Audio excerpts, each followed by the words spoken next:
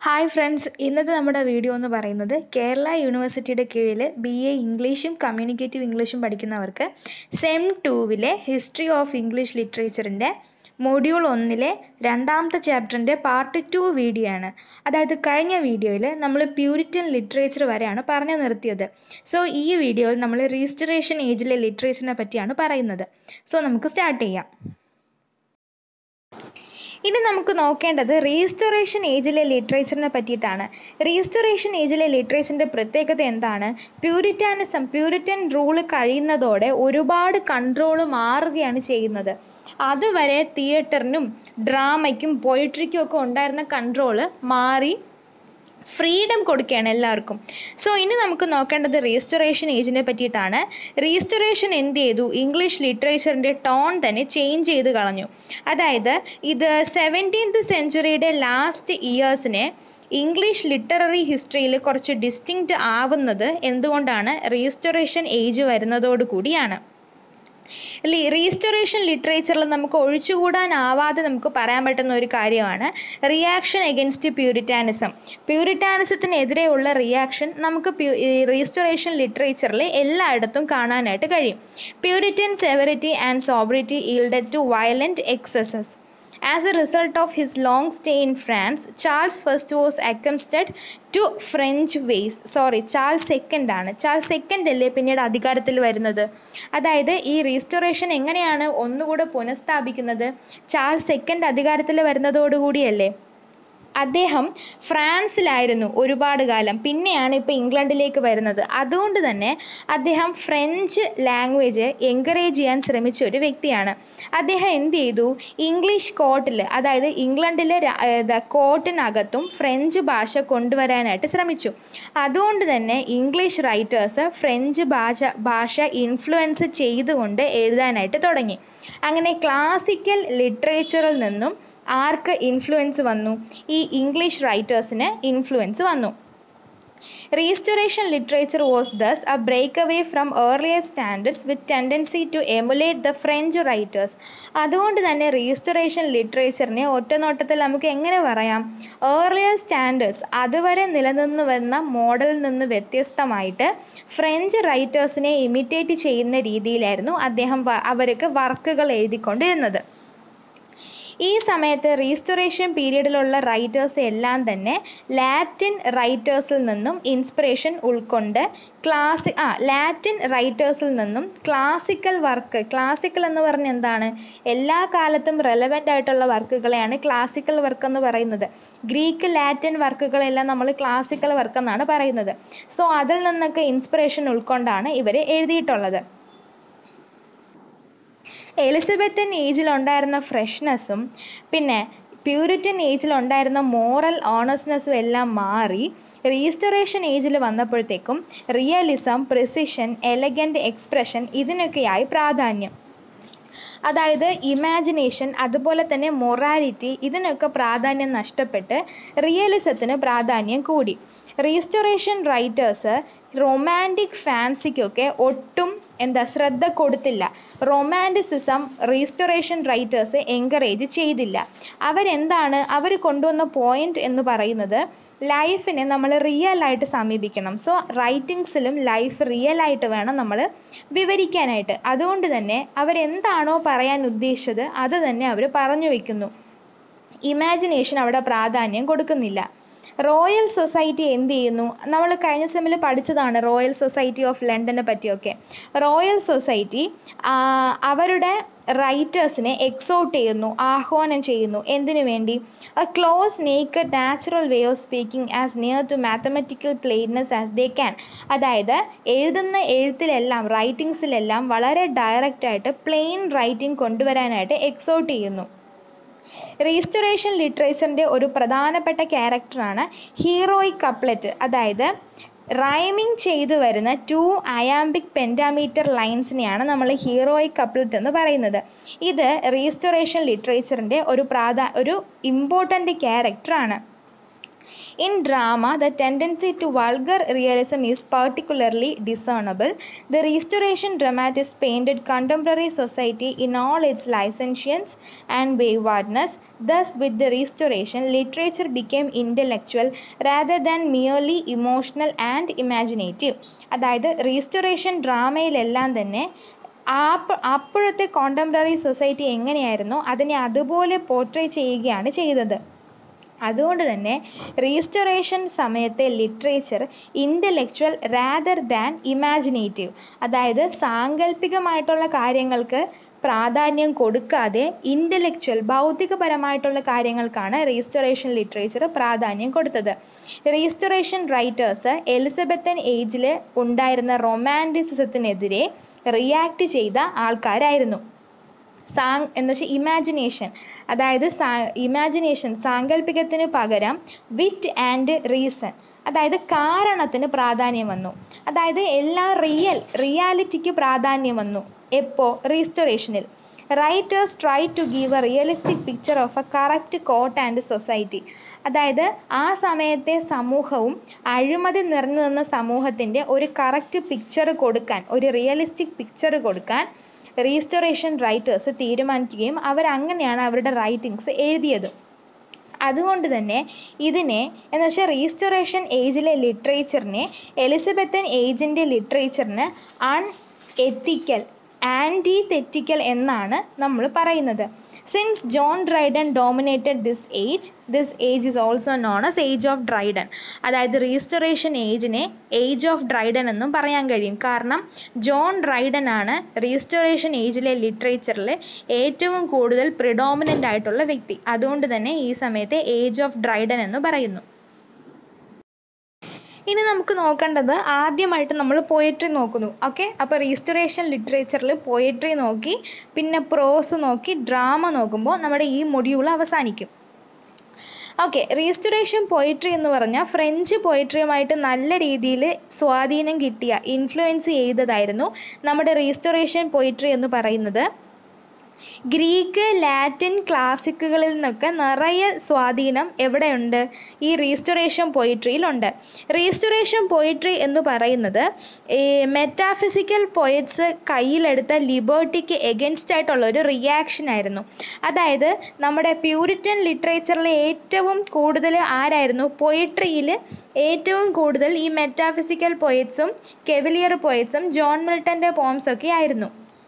ഇതിൽ മെറ്റാഫിസിക്കൽ പോയറ്റുകൾ വളരെ വലിയ സ്വാതന്ത്ര്യം എടുത്തുകൊണ്ട് അൺപ്രസിഡന്റഡ് ലിബേർട്ടി അതായത് ഇതുവരേക്കും ഒരു കവികളും എടുക്കാത്ത അത്ര സ്വാതന്ത്ര്യം എടുത്തുകൊണ്ടാണ് സ്വാതന്ത്ര്യം എന്ന് പറഞ്ഞാൽ എന്താണ് ഉദ്ദേശിക്കുന്നത് അവർ ഒന്നിനെ ഡിപ്പെൻഡ് ചെയ്തുകൊണ്ടായിരുന്നില്ല എഴുതിയിരുന്നത്? അത് നമ്മൾ പറഞ്ഞു പ്യൂരിറ്റൻ ലിറ്ററേച്ചറിൽ ക്രിറ്റിസിസം നടത്താൻ പോലും ഒരു നല്ല സ്റ്റാൻഡേർഡ് ഇല്ലായിരുന്നു.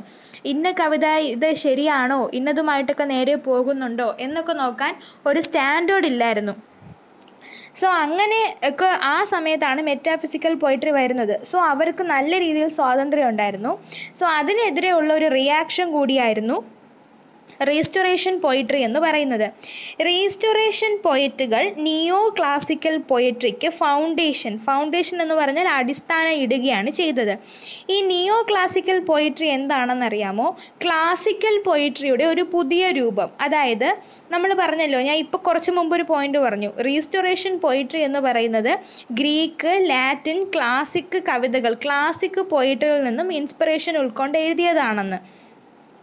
ഈ നിയോ ക്ലാസിക്കൽ പോയട്രി എന്ന് പറഞ്ഞാൽ ഗ്രീക്ക് ലാറ്റിൻ ആയിട്ടുള്ള ആൻഷ്യന്റ് റൈറ്റിങ്സിൽ റൈറ്റിങ്സിനെ പോലെ അതേ ഫോമിൽ പുതിയതായിട്ടിൽ പുതിയതായിട്ട് ഈ സമയത്ത് കവിതകൾ എഴുതുന്നതിനെയാണ് ക്ലാസിക്കൽ നിയോ ക്ലാസിക്കൽ അതായത് ക്ലാസിക്കൽ പുതിയ രൂപത്തിൽ പുതിയ ക്ലാസിക്കൽ നിയോ ക്ലാസിക്കൽ എന്നതുകൊണ്ട് ഉദ്ദേശിക്കുന്നത്.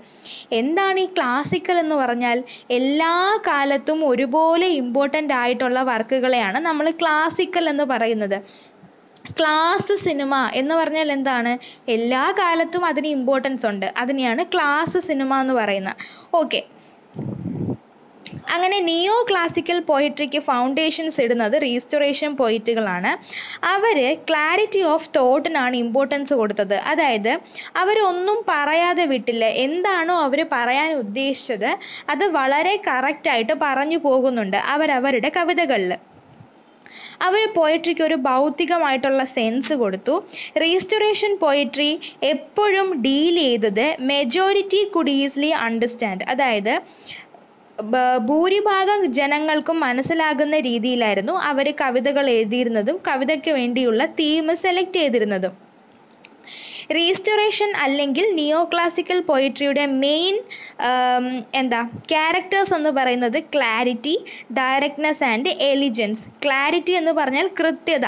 ഡയറക്ട്നെസ് എന്ന് പറഞ്ഞാൽ എന്താണ്? എന്താണോ പറയേണ്ടത് അതിനെ കൃത്യമായി പറഞ്ഞു വെച്ചിട്ടുണ്ട്. എലഗൻസ് എന്ന് പറഞ്ഞ ഉദ്ദേശിക്കുന്നത് നിയോ ക്ലാസിക്കൽ ആണ്. അപ്പോൾ ആ ഒരു ഭംഗിയൊക്കെ ഉണ്ടായിരിക്കും. ക്ലാസിക്കൽ വർക്കിന്റെ അതേ ഫോമിൽ കൊണ്ടുവരുന്നത് കൊണ്ട് ഒരു സ്റ്റാൻഡേർഡും ഒരു ഭംഗിയൊക്കെ ഉണ്ടായിരിക്കും. അതിനെയാണ് എലഗൻസ് എന്ന് പറയുന്നത്. ഓക്കെ ഈ റീസ്റ്റോറേഷൻ പോയിട്രിയെ തന്നെ നമുക്ക് വേണമെങ്കിൽ എന്തെന്നും പറയാം. നിയോ ക്ലാസിക്കൽ പോയിട്രി എന്നും പറയാം. കാരണം റീസ്റ്റോറേഷൻ പോയിറ്റുകളാണ് നിയോ ക്ലാസിക്കൽ പോയിട്രിക്ക് അടിസ്ഥാനം ഇടുന്നത്. The intellectual turn in poetry foreground its didacticism didacticism എന്ന് പറഞ്ഞാൽ എന്താണ്? ഉപദേശങ്ങൾ കൊടുക്കുന്ന രീതിയിലാണ് കവിതകൾ എഴുതിയിരുന്നത്. സോ അതുകൊണ്ട് തന്നെ റീസ്റ്റോറേഷൻ കവിതകൾ അല്ലെങ്കിൽ നിയോ ക്ലാസിക്കൽ കവിതകൾക്ക് ഒരു ഇന്റലക്ച്വൽ ടേൺ ഉണ്ടായിരുന്നു. ഭൗതികപരമായിട്ടുള്ള ഒരു ക്യാരക്ടർ ഉണ്ടായിരുന്നു. ഈ പൊളിറ്റിക്കൽ പാർട്ടികളുടെ വളർച്ചയും കോഫി ഹൗസസ് അതായത് ചായക്കടയില്ലേ നമ്മുടെയൊക്കെ ഇവിടുത്തെ ചായക്കട അതാണ് ഈ കോഫി ഹൗസ് എന്ന് പറയുന്നത്. കോഫി ഹൗസസിന്റെ വളർച്ചയും ന്യൂസ് പേപ്പറും പാംഫ്ലെറ്റും പാംഫ്ലെറ്റ് എന്ന് പറഞ്ഞാൽ ചെറിയ ചെറിയ എഴുത്ത് ലേഖകൾ.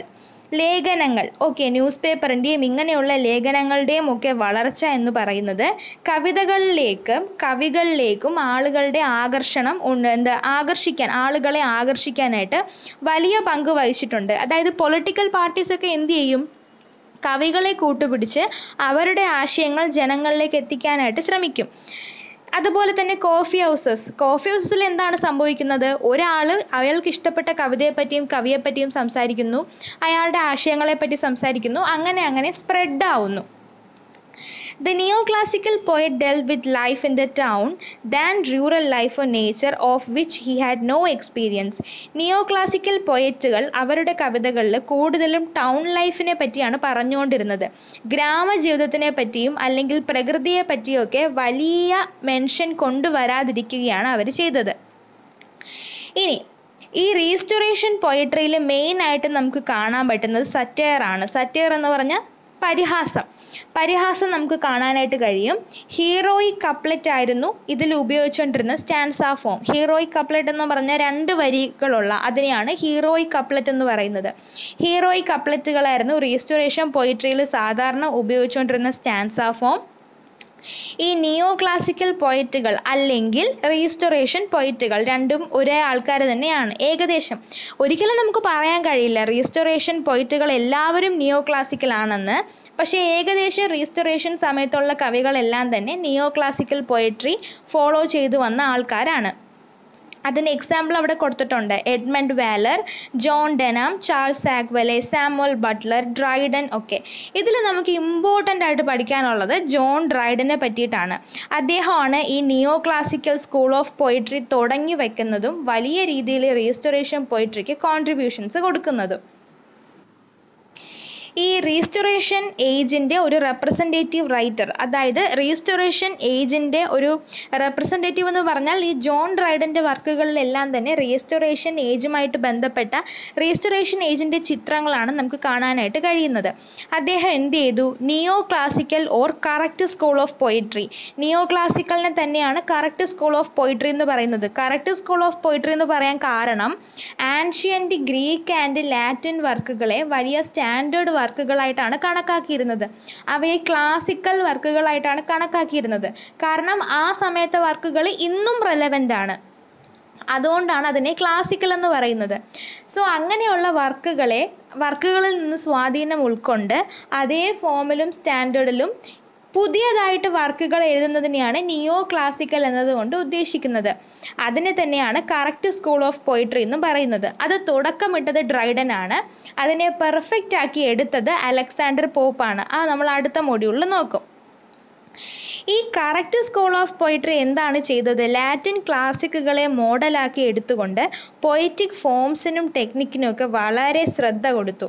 അതായത് ആ സമയം വരെ കവിതകളിലുള്ള തീമിനാണ് പ്രാധാന്യം കൊടുത്തതെങ്കിൽ കവിത എഴുതുന്ന രീതിക്കും ഉപയോഗിക്കുന്ന ടെക്നിക്കുകൾക്കും എല്ലാം പ്രാധാന്യം കൊടുത്തുകൊണ്ടാണ് neo classic school of poetry എഴുതിയത്. ഡ്രൈഡൻ അദ്ദേഹത്തിന്റെ ലിറ്റററി കരിയർ സ്റ്റാർട്ട് ചെയ്യുന്നത് അദ്ദേഹത്തിന്റെ പൊയറ്റിക് നോട്ടായ ആനസ് മിനാബിലസ് എന്നുള്ള അദ്ദേഹത്തിന്റെ പൊയറ്റിക് നോട്ട് വെച്ചിട്ടാണ്. ലണ്ടനിൽ നടന്ന ഒരു ഗ്രേറ്റ് ഫയറിനെ പറ്റിയുള്ള അദ്ദേഹത്തിന്റെ വിവരണമാണ് ആനസ് മിനാബിലസ് എന്നുള്ള അദ്ദേഹത്തിന്റെ ആ കവിത. സോറി എഴുതിയതിൽ ഒരു തിരുത്തുണ്ട്. ആനസ് മിറാബിലിസ് ആണ് കേട്ടോ. എം ഐ എൻ എ അല്ല ആർ എ ആണ്. ആനസ് മിറാബിലിസ് എന്നുള്ള അദ്ദേഹത്തിന്റെ കവിത. ഡ്രൈഡൻ എന്നിട്ട് അദ്ദേഹത്തിന്റെ അറ്റൻഷൻ ഡ്രാമ നാടകങ്ങളിലേക്ക് തിരിഞ്ഞു.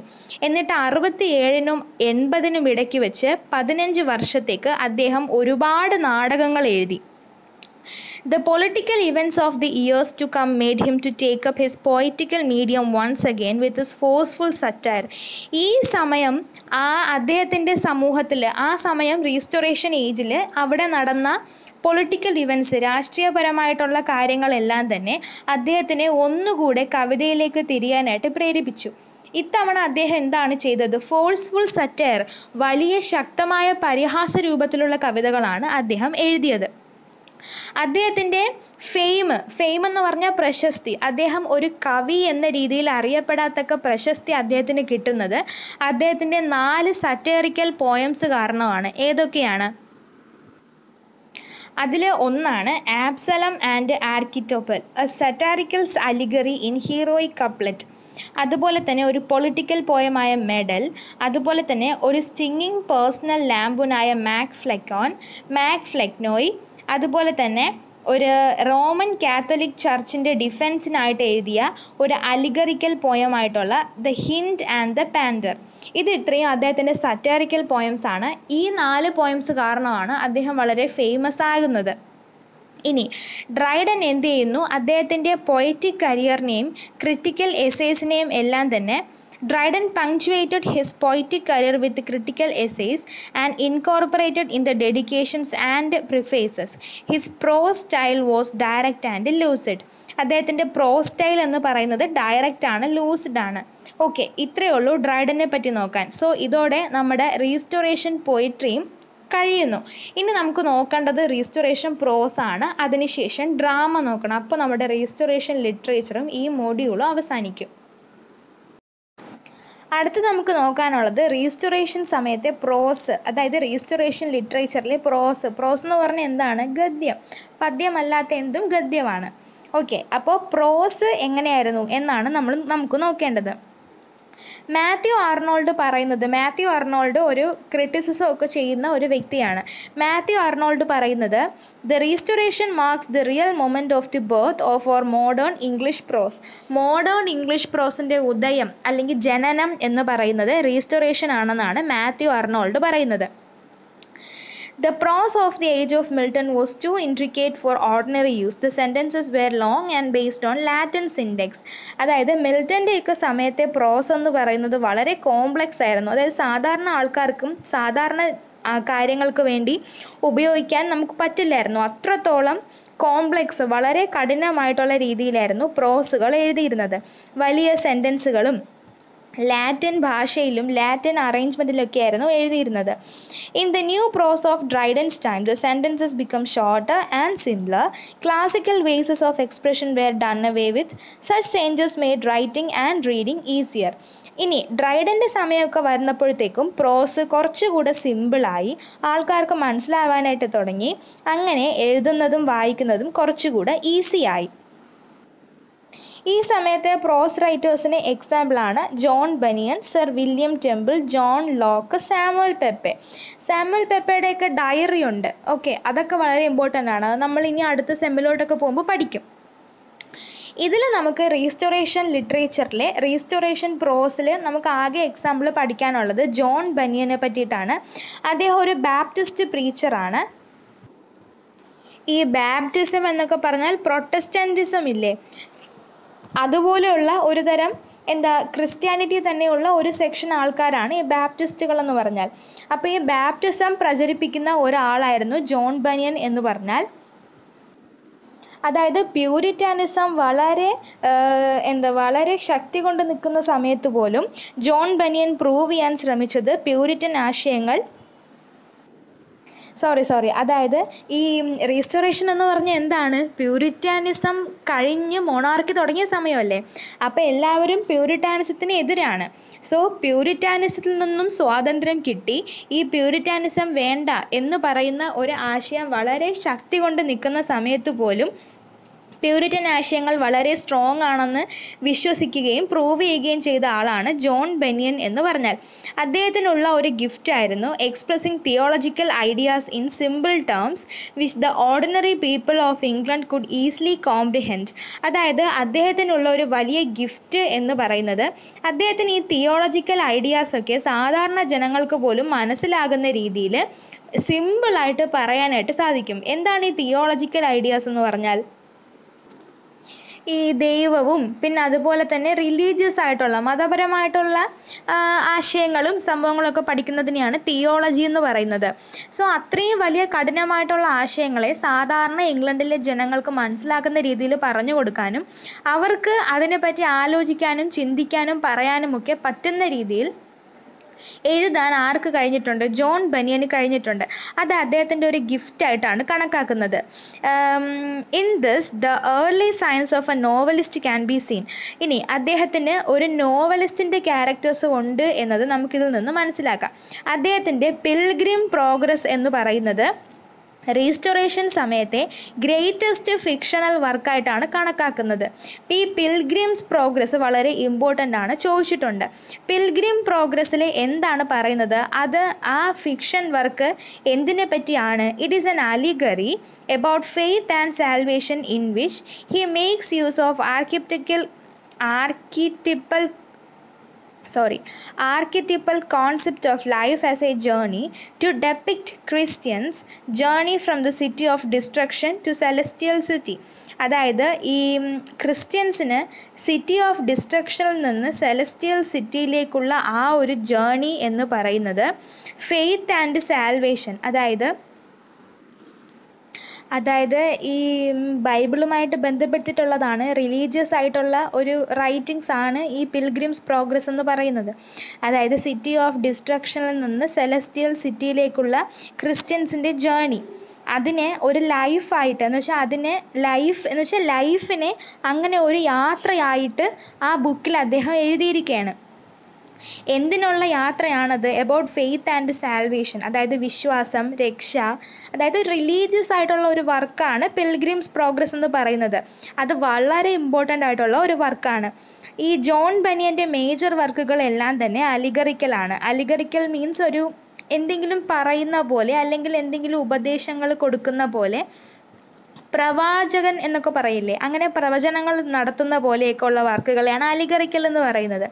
അദ്ദേഹത്തിന്റെ മെയിൻ വർക്കുകളെല്ലാം അങ്ങനെയാണ്. അതിലൊരു എക്സെപ്ഷൻ ഉള്ളത് അദ്ദേഹത്തിന്റെ ഓട്ടോബയോഗ്രഫി ആയ ഗ്രേസ് അബൗണ്ടിങ് ആണ്. സോ ഇത്രയേ ഉള്ളൂ ആരെ പറ്റി പറയാൻ. ജോൺ ബനിയനെ പറ്റി പറയാൻ. സോ റീസ്റ്റോറേഷൻ പ്രോസും ജോൺ അതിലെ എക്സാമ്പിളാണ് ജോൺ ബനിയൻ ഇനി നമുക്ക് നോക്കാനുള്ള റീസ്റ്റോറേഷൻ ഡ്രാമ അതായത് റീസ്റ്റോറേഷൻ ഏജിലെ റീസ്റ്റോറേഷൻ ലിറ്ററേച്ചറിലെ ഡ്രാമ നാടകങ്ങൾ എങ്ങനെയായിരുന്നു എന്നുള്ളതാണ്. പ്യൂരിറ്റൻ റൂൾ സമയത്ത് നാടകത്തിന് ഒരു സെറ്റ് ബാക്ക് അതായത് നാടകത്തിന് വലിയ രീതിയിൽ എൻകറേജ്മെന്റ് ഒന്നും കിട്ടിയില്ല. തിയേറ്റേഴ്സ് അടച്ചുപൂട്ടുകയും ഇങ്ങനെ നാടകം കളിക്കുന്നത് ബാൻ ചെയ്യുകയോ ഒക്കെയാണ് ചെയ്തത്. അതേസമയം ചാൾസ് സെക്കൻഡ് അതായത് റീസ്റ്റോറേഷൻ ഏജിൽ മൊണാർക്കി വീണ്ടും വരുന്നതാണല്ലോ. അപ്പോൾ ചാൾസ് സെക്കൻഡ് അധികാരത്തിൽ വന്നതിന് ശേഷം അദ്ദേഹവും അദ്ദേഹത്തിന്റെ നോബിൾസും പ്രഭുക്കന്മാരും എല്ലാവരും തന്നെ തിയേറ്റേഴ്സിനെ പാട്രണൈസ് പാട്രണൈസ് ചെയ്യുക എന്ന് പറഞ്ഞാൽ എൻകറേജ് ചെയ്യുക. തിയേറ്റേഴ്സിനെ എൻകറേജ് ചെയ്യുകയും ഡ്രാമ റീസ്റ്റോർ ചെയ്യുകയും ചെയ്തു. അതുകൊണ്ട് തന്നെ റീസ്റ്റോറേഷൻ ഏജിൽ ഒരു പുതിയ type of comedy drama comedy of manners എന്നറിയപ്പെടുന്ന കോമഡി ഓഫ് ഡ്രാമ ഉടലെടുത്ത് വന്നു. അതുപോലെ തന്നെ a novel form of tragedy drama അതായത് കോമഡി ഡ്രാമ എന്ന കോമഡി മാനേഴ്സും ട്രാജഡി ഡ്രാമയുടെ നോവൽ ഫോമായ ഹീറോയിക് ട്രാജഡിയും ഈ റീസ്റ്റോറേഷൻ ഏജിൽ ഉയർന്നു വന്ന രണ്ട് ഡിസ്റ്റിങ്ക്റ്റ് ആയിട്ടുള്ള ലിറ്ററേച്ചർ ഫോംസ് ആണ്. ഏതൊക്കെയാണ്? കോമഡി ഓഫ് മാനേഴ്സ് എന്നുള്ള പ്ലേയും ഹീറോയിക് ട്രാജഡി എന്നുള്ള നോവൽ ഫോമും.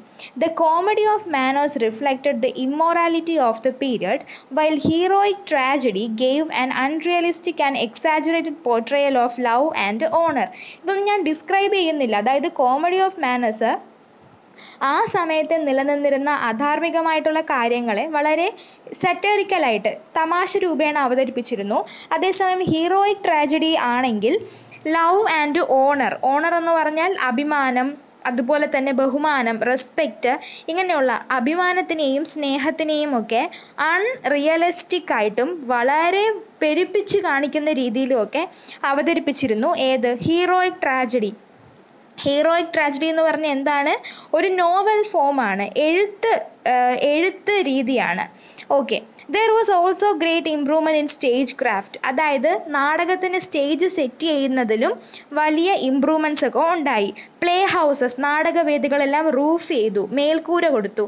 നമ്മൾ നേരത്തെ എലിസബത്തൻ ഏജിൽ കഴിഞ്ഞ സെമ്മിൽ നോക്കിയപ്പോൾ എലിസബത്തൻ ഏജിലെ നാടകവേദികൾക്കൊന്നും റൂഫ് ഇല്ലായിരുന്നു. ഇപ്പോൾ റൂഫ് കൊടുത്തു. സ്റ്റേജിനകത്ത് ആർട്ടിഫിഷ്യലി ലൈറ്റും ക്യാൻഡിൽസും ഒക്കെ കൊണ്ടുവന്നു.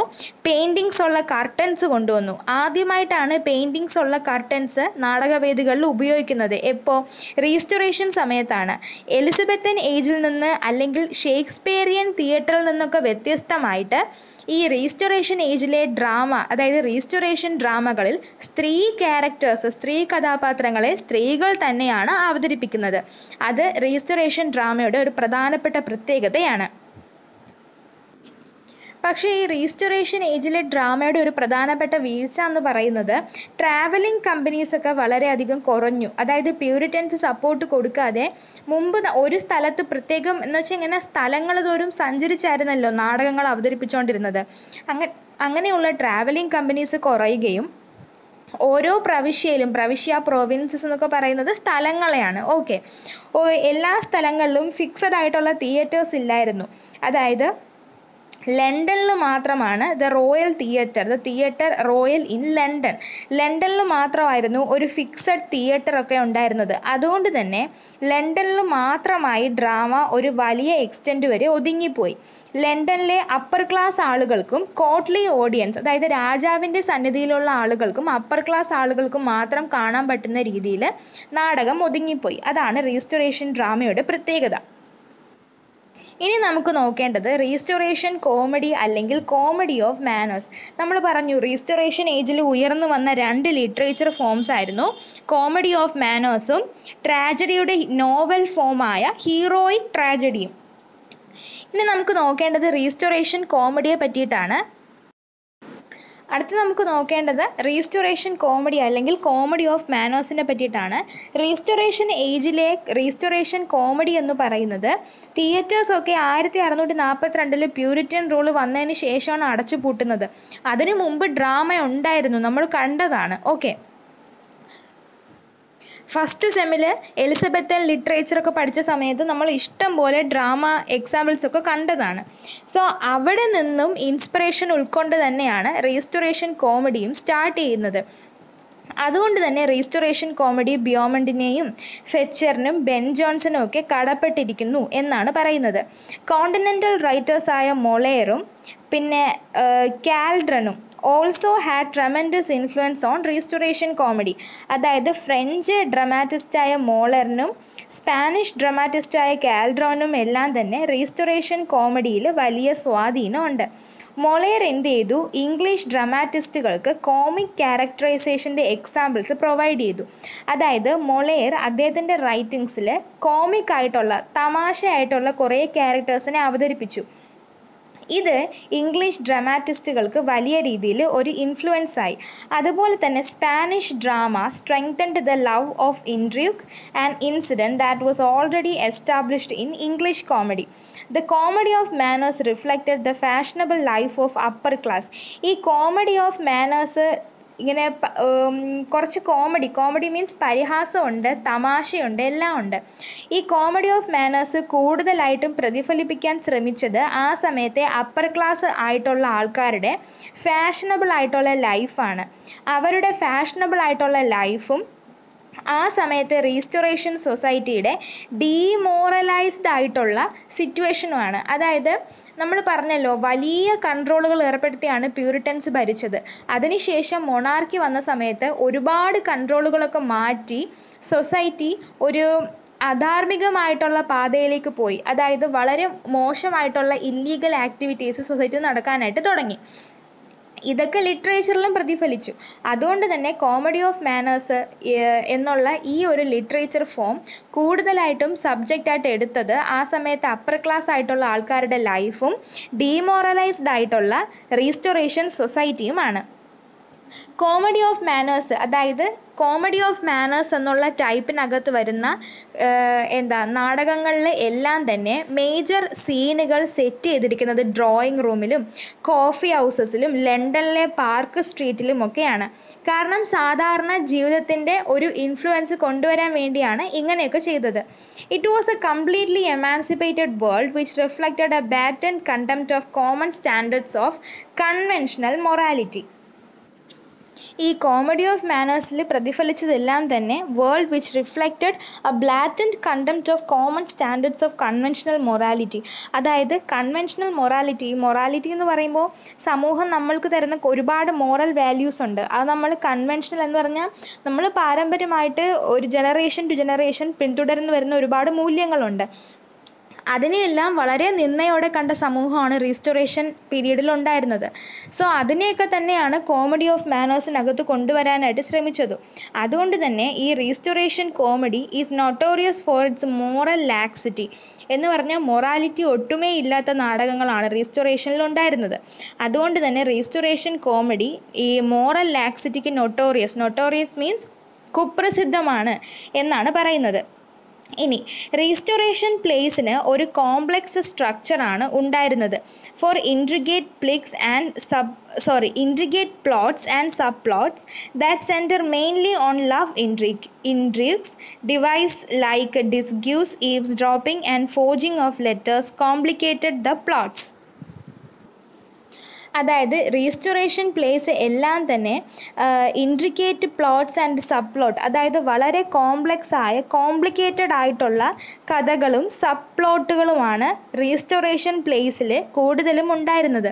അത് ചുറ്റിപ്പറ്റി നിൽക്കുന്നത് ഏതൊക്കെ എന്താ ഏതൊക്കെ സബ്ജക്റ്റുകളെയാണ് love eavesdropping forging of letters എന്ന് പറഞ്ഞ ഇങ്ങനത്തെ സബ്ജക്റ്റുകളൊക്കെ ഉൾപ്പെടുത്തിയാണ് നാടകത്തിന് കഥയുണ്ടാക്കുന്നത്. സോ ഇങ്ങനെയുള്ള പ്ലോട്ടുകൾ എന്ത് ചെയ്തു? ആ സമയത്തെ റീസ്റ്റോറേഷൻ പ്ലേസിനെ കുറച്ചുകൂടെ കോംപ്ലിക്കേറ്റഡ് ആക്കുകയാണ് ചെയ്തത്. Sex was treated with utter frankness അതായത് സെക്സ് ലവ് പോലുള്ള വിഷയങ്ങളെ വളരെ ഓപ്പൺ ആയിട്ടാണ് റീസ്റ്റോറേഷൻ ഡ്രാമയിൽ അവതരിപ്പിച്ചിരുന്നത്. Women was delineated as the companion of men and as one who should be won by intelligence wit and charming manners ഈ restoration ഡ്രാമകൾ സ്ത്രീകളെ ചിത്രീകരിച്ചത് എങ്ങനെയായിരുന്നു? Delineated as the companion of man delineate means ചിത്രീകരിക്കുക. Companion of man മനുഷ്യന്റെ ഒരു സുഹൃത്താണ് അതായത് പുരുഷന്റെ സുഹൃത്താണ്. And as one who should be won അതായത് ഒരു പുരുഷന് ഇന്റലിജൻസും വിറ്റ് ആൻഡ് നല്ല മാനേഴ്സ് ഉണ്ടെങ്കിൽ മാത്രം വിജയിച്ച് നേടിയെടുക്കാൻ കഴിയുന്ന ഒരു കൂട്ടായിട്ടാണ് സ്ത്രീയെ എവിടെ ചിത്രീകരിച്ചത്? നാടകങ്ങളിൽ ചിത്രീകരിച്ചിരുന്നത്. ഇങ്ങനെയുള്ള ഡ്രാമാസിലൊക്കെ പാഷനേക്കാളും മാനേഴ്സിനാണ് ഇമ്പോർട്ടൻസ് കൊടുത്തത്. അതുമാത്രമല്ല റീസ്റ്റോറേഷൻ ഡ്രാമയുടെ വേറൊരു പ്രത്യേകതയാണ് ക്യാരക്ടേഴ്സിന് അവരുടെ നെയിംസ് വെച്ചിട്ട് പൊസിഷൻസ് കൊടുക്കുക. ഉദാഹരണത്തിന് കേണൽ ബുള്ളി സർ ഫോപ്ലിംഗ് അതായത് കേണൽ സർ ഇങ്ങനെ പേരിനോടൊപ്പമുള്ള വാക്കുകൾക്കനുസരിച്ച് ക്യാരക്ടേഴ്സിന് ഇമ്പോർട്ടൻസ് കൊടുക്കുക. ഇതെല്ലാം റീസ്റ്റോറേഷൻ ഡ്രാമയുടെ പ്രത്യേകതകളായിരുന്നു. ഇനി റീസ്റ്റോറേഷനിലുള്ള ഈ കോമഡി ഓഫ് മാനേഴ്സിലെ ആർട്ടിഫിഷ്യൽ കോമഡിയുടെ എക്സ്പൊണൻസ് എന്ന് പറയുന്നത് William Wycherley George Etherege George Farquhar ഇവയൊക്കെയായിരുന്നു artificial കോമഡിയുടെ എക്സ്പൊണൻസ് എന്ന് പറയുന്നത്. സോ ഇത്രയാണ് റീസ്റ്റോറേഷൻ കോമഡി അല്ലെങ്കിൽ കോമഡി ഓഫ് മാനേഴ്സിനെ പറ്റി പറയാനുള്ളത്. ഇനി റീസ്റ്റോറേഷൻ ട്രാജഡി അല്ലെങ്കിൽ ഹീറോയിക് പ്ലേ. എന്താണ് ഈ കോമഡി ട്രാജഡി? അത് ഞാൻ ഇൻട്രോയിൽ പറയാൻ വിട്ടുപോയി തോന്നുന്നു. കോമഡി എന്ന് പറഞ്ഞാൽ ഒരു നാടകത്തിന്റെ എൻഡിങ്ങിൽ ഒരു ഹാപ്പി എൻഡിങ് ആയിരിക്കും. ആ നാടകത്തിൽ പ്രധാന പ്രോട്ടഗോണിസ്റ്റ് പ്രധാന കഥാപാത്രത്തിന് നേരിടേണ്ടി വരുന്ന പ്രശ്നത്തിന് ഒരു സൊല്യൂഷൻ കണ്ടുപിടിക്കുക ഒരു ഹാപ്പി എൻഡിങ് കൊടുക്കുക. അതിനെയാണ് ട്രാജഡി എന്ന് പറയുന്നത്. സോറി കോമഡി എന്ന് പറയുന്നത്. ട്രാജഡി എന്ന് പറയുന്നത് എൻഡിൽ എപ്പോഴും നായകൻ ജയിക്കണം എന്നില്ല. ഒരു സാഡ് എൻഡിങ് ആയിരിക്കും. അതിനെയാണ് നമ്മൾ ട്രാജഡി എന്ന് പറയുന്നത്. ഓക്കെ അപ്പോൾ റീസ്റ്റോറേഷൻ കോമഡി അല്ലെങ്കിൽ കോമഡി ഓഫ് മാനേഴ്സിനെ പറ്റി നമ്മൾ പറഞ്ഞു. ഇനി അടുത്ത് നമുക്ക് നോക്കേണ്ടത് റീസ്റ്റോറേഷൻ ട്രാജഡി അല്ലെങ്കിൽ ഹീറോയിക് പ്ലേ റീസ്റ്റോറേഷൻ ട്രാജഡി എന്ന് പറയുമ്പോൾ അതിൽ ഏറ്റവും കൂടുതൽ ഇമ്പോർട്ടൻസ് അതിൽ ഹീറോയ്ക്ക് തന്നെ ആയിരിക്കും വെദർ മെയിൽ ഓർ ഫീമെയിൽ ഹീറോയ്ക്കായിരിക്കും കുറച്ചുകൂടെ ഇമ്പോർട്ടൻസ് എന്ന് പറയുന്നത്. ഓക്കെ റീസ്റ്റോറേഷൻ ട്രാജഡി നമ്മൾ നോക്കുന്ന സമയത്ത് the influence of French romance and drama produce the heroic play which became a characteristic phenomenon of sixteen sixty and sixteen seventies അതായത് ഫ്രഞ്ച് റൊമാൻസിന്റെയൊക്കെ influence കാരണം ആയിരത്തി അറുന്നൂറ്റി അറുപതുകളിലും എഴുപതുകളിലും ഒക്കെ വന്ന ഒരു ഫിനോമിനനാണ് ഹീറോയിക് പ്ലേ എന്ന് പറയുന്നത്. റീസ്റ്റോറേഷനിലെ ഹീറോയിക് ട്രാജഡി എന്ന് പറയുന്നത് unheroic temper working upon French and Elizabethan models. അതായത് ഫ്രഞ്ച് എലിസബത്തൻ ഡ്രാമയുടെയൊക്കെ ഒരു കൂട്ടിച്ചേർന്നുള്ള ഔട്ട്കം ആണ് ഹീറോയിക് റീസ്റ്റോറേഷൻ സമയത്ത് ഹീറോയിക് ട്രാജഡി എന്ന് പറയുന്നത്. അതായത് എലിസബത്തൻ ട്രാജഡി ഇന്റൻസിഫൈഡ് ലൈഫ് അതായത് ജീവിതത്തിന്റെ ഇമോഷൻസിനെ കുറച്ചുകൂടെ ഇന്റൻസിഫൈ ചെയ്തിട്ടാണ് എലിസബത്തൻ ട്രാജഡി അവതരിപ്പിച്ചത്. ഫ്രഞ്ച് ട്രാജഡി എന്ന് പറയുമ്പോൾ ലൈഫിനെ കുറച്ചുകൂടെ റിയൽ ആയിട്ടാണ് അവതരിപ്പിച്ചുകൊണ്ടിരുന്നത് ഇതിന്റെ രണ്ടിന്റെ ഒരു ബ്ലെൻഡാണ് എന്തെന്ന് പറയുന്നത്? റീസ്റ്റോറേഷൻ സമയത്തെ ഹീറോയിക് ട്രാജഡി എന്ന് പറയുന്നത്. പക്ഷേ heroic ട്രാജഡിക്ക് real or ideal with living folk അതായത് ജീവിക്കുന്ന മനുഷ്യരുടെ യഥാർത്ഥ ജീവിതത്തോടോ അല്ലെങ്കിൽ അവരുടെ മാതൃകാ ജീവിതത്തോടോ ഒരു തരത്തിലുള്ള കണക്ഷനും ഇല്ലായിരുന്നു. നമ്മൾ നേരത്തെ പറഞ്ഞില്ലേ ഒരു ഹീറോയിക് ട്രാജഡി എന്നുള്ള ഒരു നോവൽ ഫോമിനെ പറ്റി? അതിൽ എന്താണ് ചെയ്യുന്നത്? ലവ് ഓണർ പോലുള്ള ഹ്യൂമൺ ഇമോഷൻസിനെയും ഫീലിങ്സിനെയും അൺറിയലിസ്റ്റിക് ആയിട്ട് എക്സാജറേറ്റ് ചെയ്താണ് അവതരിപ്പിച്ചുകൊണ്ടിരുന്നത് ഇവിടെയും ഹീറോയിക് ട്രാജഡിക്ക് സാധാരണ ജീവിതത്തിലെ മനുഷ്യർ മനുഷ്യരുടെ ജീവിതവുമായിട്ട് ഒരു തരത്തിലുള്ള കണക്ഷനും ഫീൽ ചെയ്യാനായിട്ട് പറ്റിയില്ല. ഹീറോയിക് ട്രാജഡി അല്ല സോറി ഹീറോയിക് പ്ലേ ഏത് രീതിയിലാണ് എഴുതപ്പെട്ടിരുന്നത്? It was written in rhymed couplets and blank verse and dealt with conflict between love and honour or love and duty അതായത് സ്നേഹവും അഭിമാനവും അല്ലെങ്കിൽ സ്നേഹവും കർത്തവ്യവും. ഈ രണ്ട് ഫീലിങ്സിന്റെയും തമ്മിലുള്ള കോൺഫ്ലിക്റ്റ് തമ്മിലുള്ള പ്രശ്നങ്ങളെയാണ് ഹീറോയിക് പ്ലേയിൽ സാധാരണയായിട്ട് അവതരിപ്പിച്ചുകൊണ്ട് ഇരുന്നത്. Okay. The most striking aspect of heroic tragedy was its artificiality ഇതാണ് നമ്മൾ നേരത്തെ പറഞ്ഞത്. സാധാരണ ജനങ്ങളുടെ ജീവിതവുമായിട്ട് ഒരു ബന്ധവും ഇല്ലായിരുന്നു ഹീറോയിക് ട്രാജഡിക്ക്. പക്ഷേ ഇത് എലിസബത്തൻ ഫ്രഞ്ചിന്റെ ബ്ലെൻഡും ആണെന്ന് പറയുന്നു. എലിസബത്തൻ ട്രാജഡിക്കും ഫ്രഞ്ച് ട്രാജഡിക്കും ലൈഫിനെ പറ്റി എന്ന് വെച്ചാൽ ലൈഫാണ് അതിൽ കാണിച്ചുകൊണ്ടിരുന്നത്. അവരുടെ നാടകത്തിൽ പ്രധാനമായിട്ട് സബ്ജക്റ്റ് ആയിട്ട് വന്നുകൊണ്ടിരുന്നത് അതേസമയം റീസ്റ്റോറേഷൻ സമയത്ത് ഹീറോയിക് പ്ലേക്ക് ലൈഫുമായിട്ട് ഒരു ബന്ധവും ഇല്ലായിരുന്നു. അതുകൊണ്ട് തന്നെ അത് വളരെ ആർട്ടിഫിഷ്യലും ആയിരുന്നു.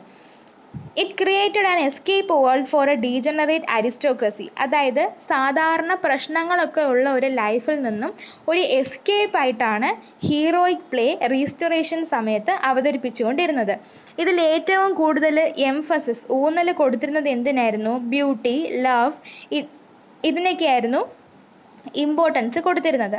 The classical unities were observed and tragic and comic elements never mixed അതായത് നമ്മളിപ്പോൾ റീസ്റ്റോറേഷൻ ഡ്രാമ പറഞ്ഞ സമയത്ത് റീസ്റ്റോറേഷൻ കോമഡിയെ പറ്റി നമ്മൾ പറഞ്ഞു ഇപ്പോൾ ദാ റീസ്റ്റോറേഷൻ ട്രാജഡിയെ പറ്റിയും പറയുന്നു. പക്ഷേ ട്രാജിക് കോമഡി എന്ന ഒരു ജോൺറിയെ പറ്റി നമ്മൾ പഠിക്കുന്നില്ല. അതിന് കാരണം റീസ്റ്റോറേഷൻ സമയത്ത് നാടകങ്ങളിൽ ട്രാജഡിയും കോമഡിയും മിക്സ് ചെയ്ത് അവതരിപ്പിച്ചിരുന്നില്ല എന്നതാണ് ഒരു point sensationalism was it another feature of heroic play sensationalism എന്ന് പറഞ്ഞാൽ ഈ കാണുന്ന പ്രേക്ഷകരെ എക്സൈറ്റ് ചെയ്യിക്കുന്ന രീതിയിൽ നമ്മൾ നമ്മുടെ നാടകത്തിലെ കഥകളെയും എന്താ ഡയലോഗ്സിനെയൊക്കെ അറേഞ്ച് ചെയ്യുക. അതിനെയാണ് സെൻസേഷണലിസം എന്നതുകൊണ്ട് ഉദ്ദേശിക്കുന്നത്. ഈ ചില സിനിമകളൊക്കെ പറയൂലേ സെൻസേഷനായി സെൻസേഷണലായി എന്നൊക്കെ പറഞ്ഞാൽ ആ സിനിമ കാണുന്ന പ്രേക്ഷകരെ ഏതെങ്കിലും രീതിയിൽ എക്സൈറ്റ് ചെയ്യാൻ ആ സിനിമയ്ക്ക് കഴിഞ്ഞിരിക്കണം. Okay the locale of the place was very unfamiliar and the time remote അതായത് ഈ നാടകങ്ങളുടെ എന്താ സെറ്റിംഗ് അല്ലെങ്കിൽ അതിന്റെ കഥ എന്ന് പറയുന്നത് സാധാരണ മനുഷ്യർക്ക് അൺഫെമിലിയർ ആയിരുന്നു.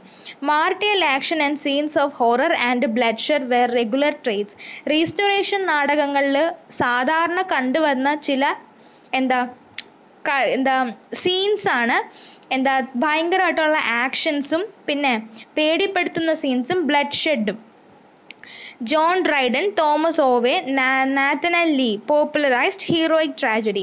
ഇവർ ഇത്രയും പേരാണ് ഹീറോയിക് ട്രാജഡി പോപ്പുലറൈസ് ചെയ്തത്. സോ ഈ വീഡിയോയുടെ നമ്മുടെ മൊഡ്യൂൾ ഒന്ന് കഴിയാണ്. സോ അടുത്ത വീഡിയോയിൽ നമ്മൾ മൊഡ്യൂൾ ടു ആയിരിക്കും നോക്കുന്നത്. Okay thank